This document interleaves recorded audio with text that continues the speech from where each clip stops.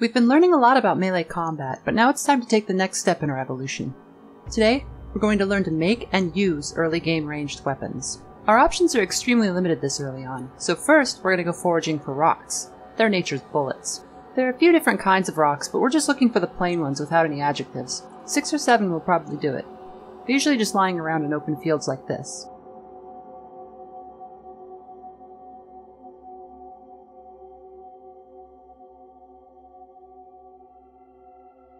Once we've got the rocks, we'll drop them all on the floor.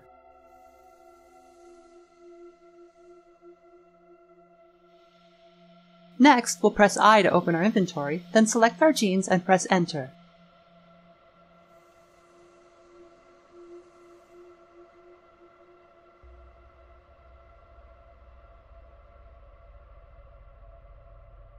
We can see that our jeans have four pockets, which is probably what you'd expect. Press Enter on the first one to pull up the Pocket Settings panel. See this? We want to select Switch to Modifying Blacklist. Now that we're modifying the blacklist, we select Whitelist Blacklist item, press Enter, then forward slash and search for rock. Press Enter again. Rocks are now blacklisted from that pocket. We'll repeat the process for our other three pockets.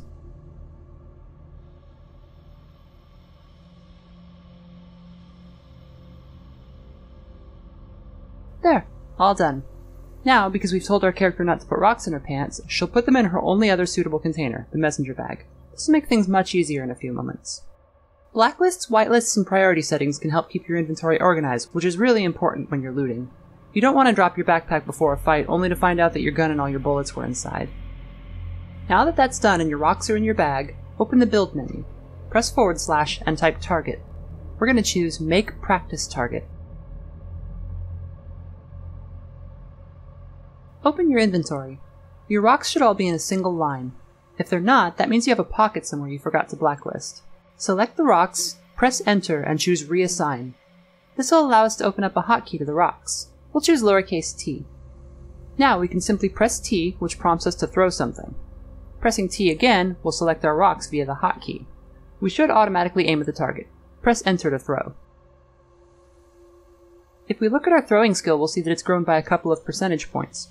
Now let's repeat the process until our throwing reaches 1.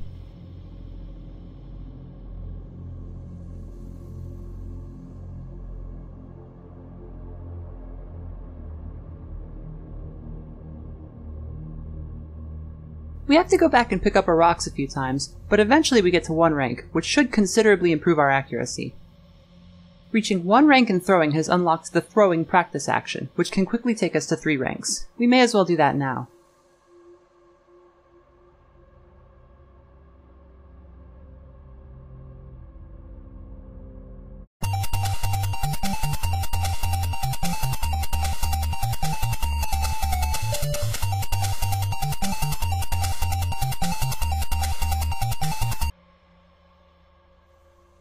Alright, now we'll take these babies for a spin.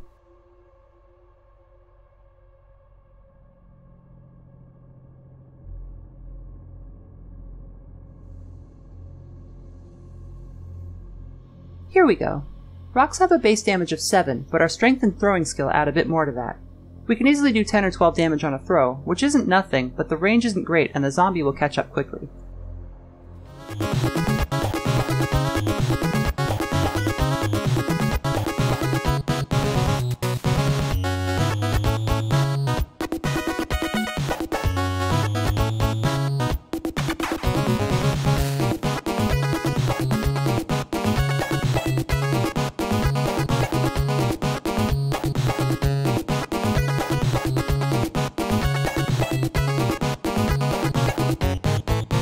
Head back home and see what else we can do. Next, we have to pull down the drapes on three of our windows and collect all three long strings.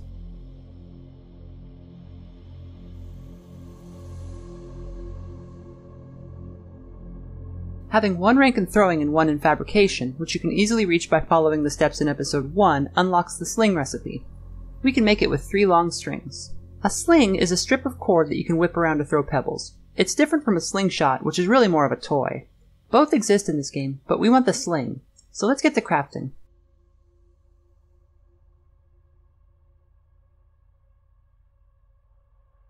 Next, we'll need ammo.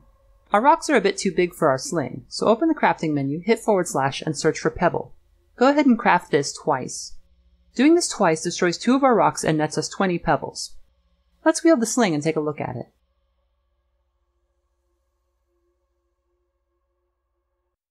The stat block for ranged weapons is a bit confusing, so let's break it down. We can see here that the stats below are the default for our ammo type, pebbles. That's what we're using. So far, so good. Slings can use a few other things as ammo, like marbles and bearings, but we don't have any of those right now. Now we look at range damage. The 2 here is the base damage of a pebble. If we threw it by hand, we'd expect it to do about that much. The 4 is the damage our sling adds to our shots. The maximum range of our sling is 18 tiles. That's quite far, though accuracy will fall off very quickly if we get closer to 18. Dispersion is the amount by which our shots will randomly be off target even if our aim is perfect. The sling itself has a dispersion rating of 150 while the pebbles add 14. Lower dispersion is better, and 164 is actually quite good. Sight dispersion is similar to dispersion, but represents how much our actual aim might be off even if we're rolling perfectly. Sight dispersion is similar to dispersion, but represents how much our actual aim might be visually off, even if we're rolling perfectly. This doesn't mean much on a sling, but if you're shooting a rifle or something, you could bring the number down by modifying the gun with better sights. It takes 50 moves or one half second to put a pebble in the sling. This doesn't sound too bad, but it isn't accounting for you fishing the pebble out of your pocket. That might add a second or more to the total firing time. So overall, the sling is a fast, weak weapon.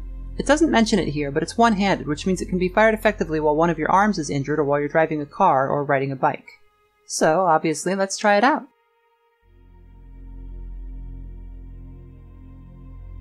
With our sling in hand, we'll stand about 18 tiles from the zombie and press F. Choose one of your ammo piles if it prompts you. This opens the fire menu like it did with the spear, except now we have a bit more information in the sidebar, and it's a lot to take in. These asterisks between the two brackets are our steadiness. This is how steady our aim is. Low steadiness will increase our dispersion, making our shots less accurate. If you're using a gun, steadiness will also reduce the impact of recoil. One-handed weapons like pistols and slings are easier to steady than two-handed weapons like bows and rifles. This is our current aim.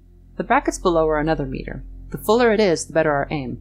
As you can see, it's currently very low. If we press the period key, we'll spend one tenth of a second trying to aim. This will cause the meter to go up slightly. This is how we manually aim. We can continue to press period until we're either happy with how full our bar is or the zombie is too close and we need to move. This is how many moves it would cost if we fired right now. This time is immediately spent when we press enter and our shot will go off at the end of it. If the enemy moves before we take our shot, we'll automatically adjust our aim to compensate, so don't worry too much about that. There are three options we can choose to automatically aim. Think of them as presets. A is a snapshot, C is the middle of the road, and P is about as well as we could possibly aim. To review, if you want to aim and fire manually, just pay attention to this bar and press period until you feel like you're on target. Once you're ready, press F if you want to fire. And that's a hit. Unfortunately, our shot didn't do any damage. Let's try again. There we go, 8 damage. Let's press capital P to open the message log and see if we can figure out what happened. Our first attack was only a grazing hit and did no damage, while our second attack was a good hit, which did one point more than our weapon's stated total of 7 damage. Ranged attacks are calculated using a number of factors, including range, perception, dexterity, dispersion, target size, and weather to determine how on target our shot is. The damage total is modified by the result. This serves in place of Melee's critical hit system. The better the game rates your shot, the more damage it adds. The inverse is also true. In this case, getting a grazing attack lowered our base damage below 1. Basic zombies have 80 hit points, so this will take several shots. Just like with the spear, we can calmly walk away and line up another shot once we've got enough room.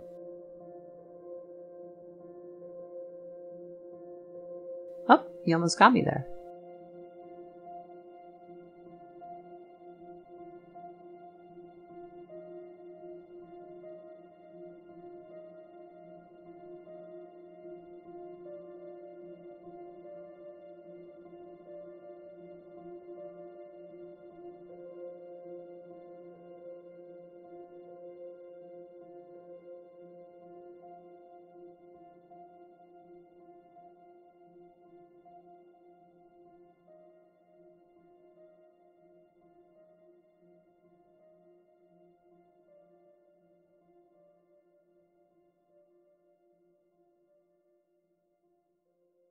As you can see, this isn't the most efficient way to get things done, but a sling and 20 pebbles fits easily in your pocket and can really help you out in a pinch, softening up incoming enemies before you switch to melee. But surely we can do better. Now we're going to try something a little more advanced. I've got here a plank, a long stick, a rock, and a long string. Next, we'll need to get our survival skill up to 2. If you followed the first video, you should have 1 survival by now thanks to the makeshift hammer we made, but just in case I'm going to show off another way to raise it. Press escape and go to options.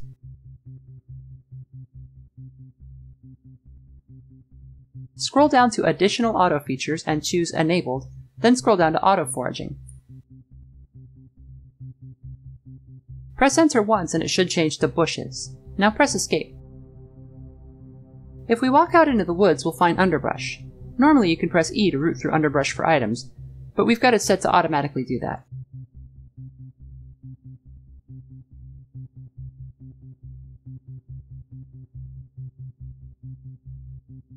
Approach the underbrush and you'll see a message about foraging. If you don't, it means this bush is no good. Find another one. Each time we forage, we earn a little bit of survival skill. With auto forage on, we can wander around the woods until our survival reaches 1. It shouldn't take long.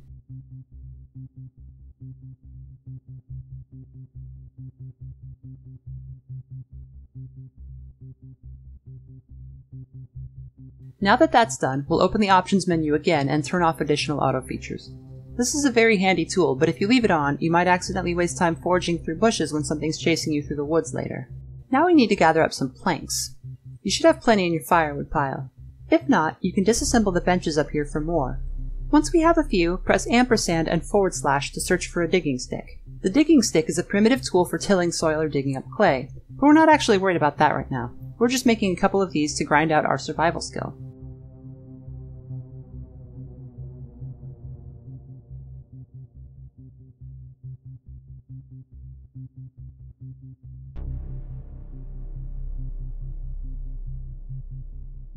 After making one or two, it should reach two ranks.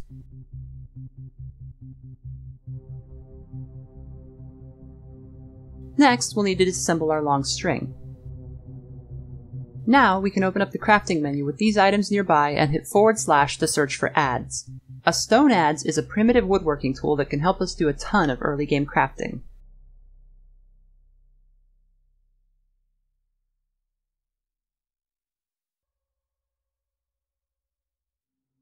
See how long this is taking? This is a much more complicated task than we're used to. We actually run out of daylight here and have to go over to the computer to get enough to finish our task.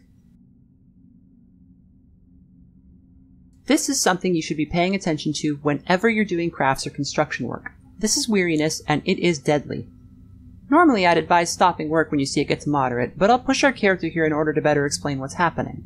Okay, the adze is done, but now we're weary. What's that mean? Well, there are three factors that represent how tired you are. Stamina is just your breath. If you ran 100 meters, you'd be out of breath, but you would recover very quickly. Rest just represents how sleepy we are. Weariness is overall muscle fatigue from long-term activity.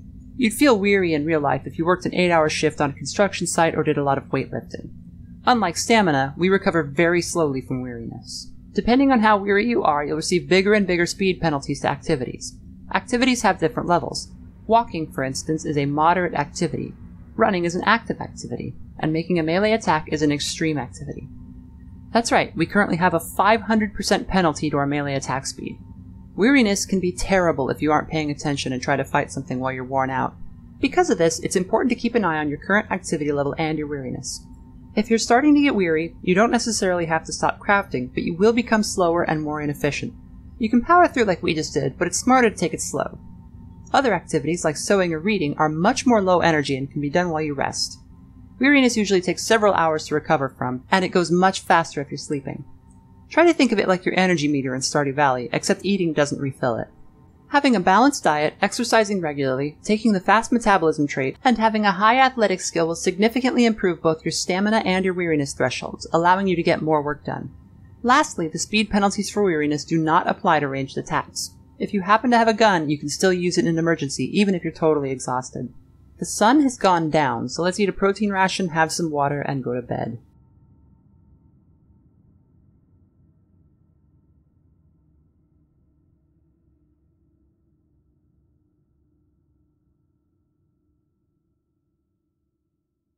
We can watch our weariness recover while we sleep.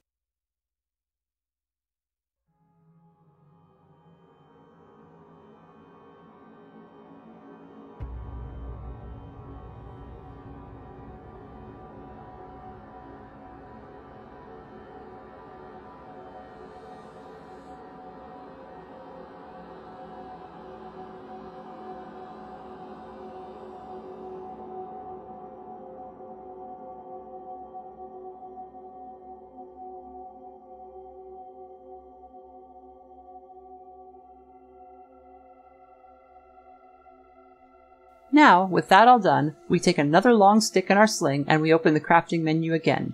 Hit forward slash and search for staff sling. The staff sling is the sling's cooler older brother and it is absolutely deadly. If we press the right angle bracket, we can scroll down the right panel to view its stats. It fires actual rocks, which have a base damage of 7, and it adds 10 to that. Considering our character's strength and skill, that could easily be over 20 damage per shot. If you don't see the staff sling here when you search for it, it's probably because you don't have 3 fabrication. If you followed the instructions in the first video, you should be at 3 already. If not, you can head over to the crafting tab and work on basic carpentry. It only requires wood, nails, and a hammer. You should have all those things from episode 1. Carpentry practice will take your fabrication to 3 really quickly. Either way, with that all done, we can make our staff sling. It'll consume our old sling, but believe me, it's worth it.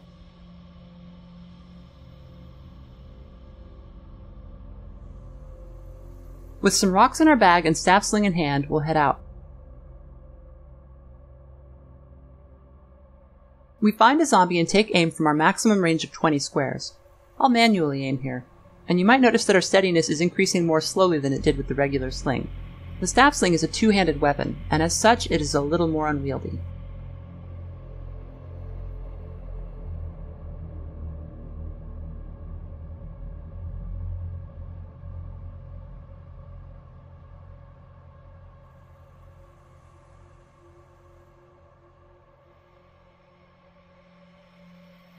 As you can see, we didn't quite kill it, but we did do a lot of damage. But here's the fun part. The staff sling is also a melee weapon. It's not quite as good as the cudgel, and it'll break if we use it too much, but still, let's give it a whirl.